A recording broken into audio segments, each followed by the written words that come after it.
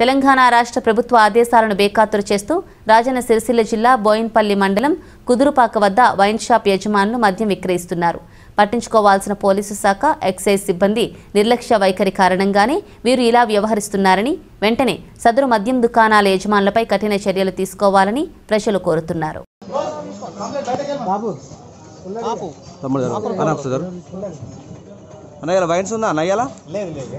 ఆ? మరి మీరు ఎట్లా అమ్ముతున్నారు మరి మీరు? తమ్ముడు. ఇయ్యలే అంటే?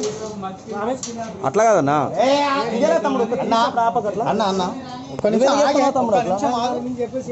అట్లాగానా ఇలా ఇలా వైన్స్ ఉందా తమ్ముడు? వైన్స్ ఏం లేదు. వైన్స్ ఉందా బ్రదర్ ఇవాళ వైన్స్ ఉందా? వైన్స్ లేదని చెప్పినాం కదా మరి వైన్స్ లేని ఇదంతా ఎందుకు అమ్ముతున్నావు అన్న? ఒకసారి అదే.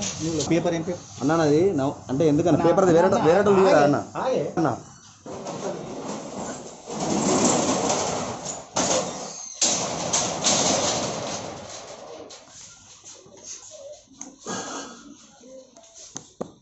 మామూలుగా వైన్స్ లేదన్నారు కదా మరి మీరు.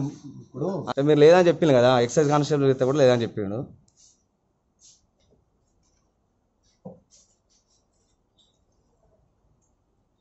లేదని కూడా మళ్ళీ ఎట్లా అమ్ముతారన్న మీరు?